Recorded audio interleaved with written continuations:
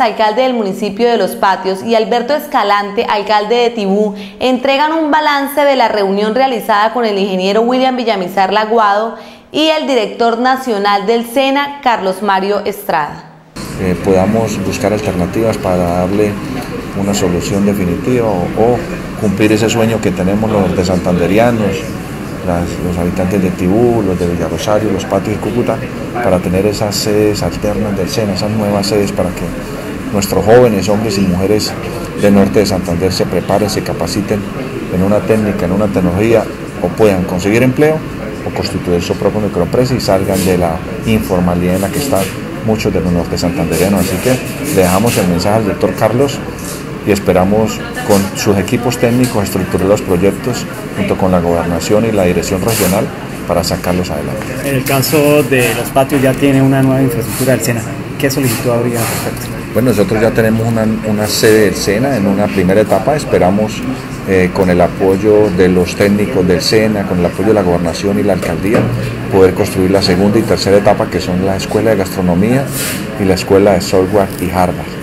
Eso le planteamos al señor director para que busquemos alternativas y saquemos adelante estos proyectos que tanto necesita nuestra región. Muchas gracias, doctor Alberto Escalante. Ahora es el, alcalde del municipio, antiguo alcalde. ¿Qué conclusiones deja para el municipio esta reunión? Bueno, hay muchas cosas que, se dejan en común. Eh, Villa Rosario, eh, los patios y Tibú tienen lo mismo, tienen una gran informalidad laboral y hay que condensarla y el SENA nos puede llevar a esa, a esa formalidad en materia laboral para nuestros jóvenes eh, que están en la región.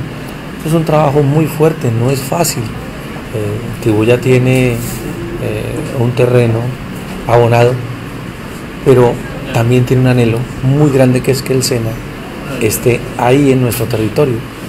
Pero alguien piensa que lo ha soñado y no es un capricho, es una necesidad real y palpable que necesita nuestro territorio y los únicos que pueden llenar ese vacío en materia de formación es el SENA. Y por fortuna tenemos el respaldo del señor gobernador, de la gobernación, de donde sea, no solo eh, con tema de recursos, sino con su acompañamiento. Y eso fortalece para que los tres alcaldes, tanto el de los patios como el de Villa Rosario y el de Tibú, podamos armar un bloque para mejorar la educación y hacer que nuestra población pueda crecer intelectualmente en el territorio. Muchas gracias. Carlos Mario Estrada, director nacional del SENA, da las conclusiones luego de reunirse con el gobernador del departamento y los alcaldes de los municipios de Villa del Rosario, Tibú y Los Patios.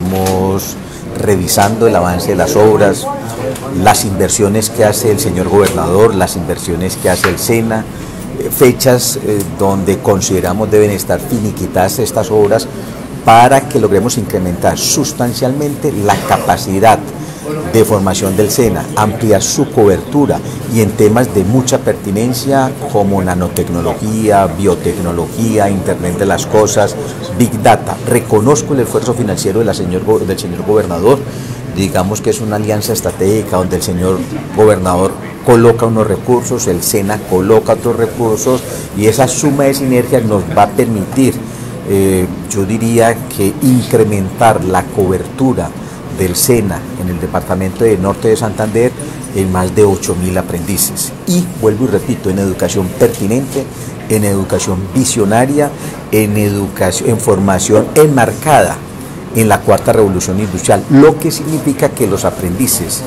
que se van a graduar, que se van a certificar en los próximos años en el SENA, en Norte de Santander, van a tener las competencias, las destrezas, las habilidades para encontrar un empleo, un empleo digno y decente en este mundo de la robotización, en este mundo de la cuarta revolución industrial.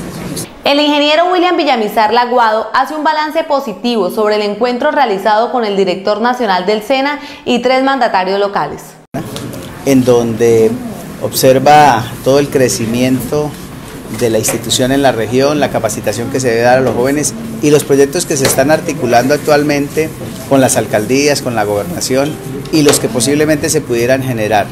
Importante entonces es conocer que en esta dificultad que tiene la región por la frontera, por el orden público, por eh, el aislamiento hacia el sector central en materia de, vías, eh, se pueda tener en la institución como el SENA la posibilidad de capacitar todas las personas que necesitamos para sacar adelante la región y para sacar adelante en materia de desarrollo. Ya regresamos con más del informativo Televilla. Recuerden, pueden comunicarse al 315-8386-118.